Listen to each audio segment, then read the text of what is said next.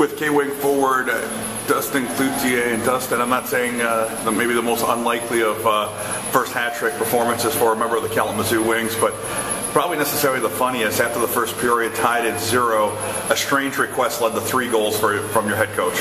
Uh, yeah, I just we were talking right before the start of the second period, you know, and to just keep shooting, it's gonna go in. And uh, you know, gave gave a stick a little rub for good luck. So next shift uh, is when I got my first goal.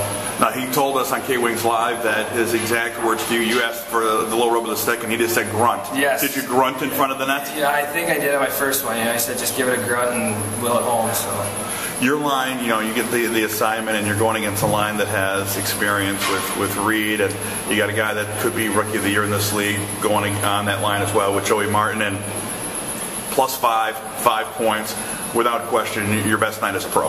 Uh, yes, that's definitely so far. Um, you know, we just we knew as long as we just kept working hard, like like our line can, and used our speed on that big ice, you know, we knew we would do well against them. What does that do for confidence heading into uh, this week with a chance to clinch the playoffs? Um, you know, it's a big boost of confidence. It was, you know, good for the team to get a, a big win like that. You know, uh, had a bit of a rough weekend, so as long as we keep going and keep rolling, we'll be fine. Not that you would ever turn away a chance to get three goals, but would you rather have happened at home so you can collect some hats? Um, you know, maybe a little better if uh, I could have got it at home, but you know, it's still a hat trick, so happy either way.